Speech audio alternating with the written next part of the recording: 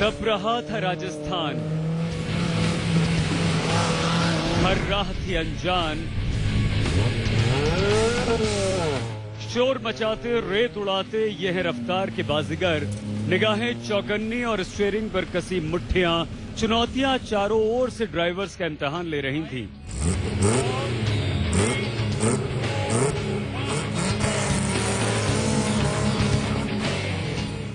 मौका था desert storm rally का और रूट था हनुमानगढ़ से बीकानेर बीकानेर से जैसलमेर और फिर जैसलमेर से जोधपुर। रफ्तार बनाए रखना और कम से कम गलतियाँ करना, रैली के नियम कानूनों की तमाम बंदिशों में यह आसान काम नहीं था, लेकिन मुश्किलें ना हो तो फिर रेस का मज़ा ही क्या है? आखिर मुश्किल रास्ते ही तो रैली का रोमांच बढ़ाते हैं, खुद को साबित करने का मौका देते हैं।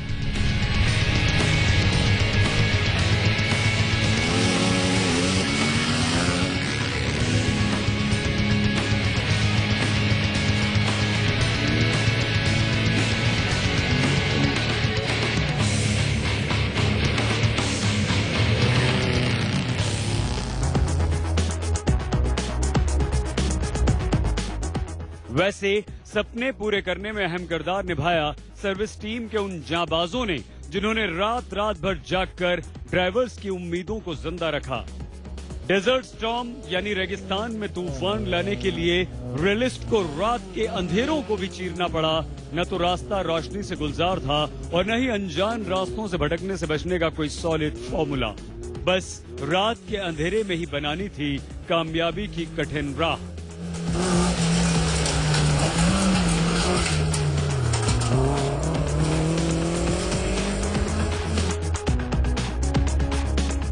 खुद भी फिट रहना और अपनी कार या बाइक को भी फिट रखना इस दोहरी ज़िम्मेदारी को जिसने मज़े से निभाया, उसके सिर सजा, कामयाबी का ताज।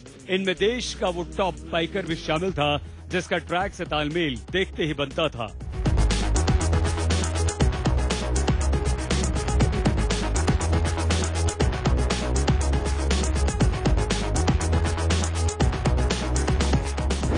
So far it's been good. You know, I struggled on on on the first day, but uh, it's with the navigation, and uh, apart from that, I think I've been having a good rally.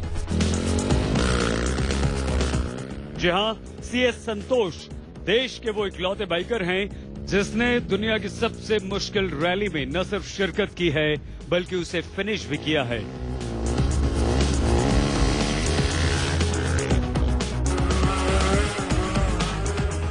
जो भी हो, रफ्तार के इन बाजीगरों का संदेश साफ़ था। खुद पर भरोसा रखो और आगे बढ़ते जाओ।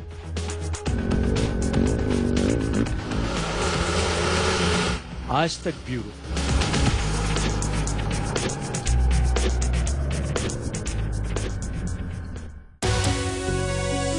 ये है टीवी टुडे नेटवर्क। और आप देख रहे हैं आज तक सबसे तेज।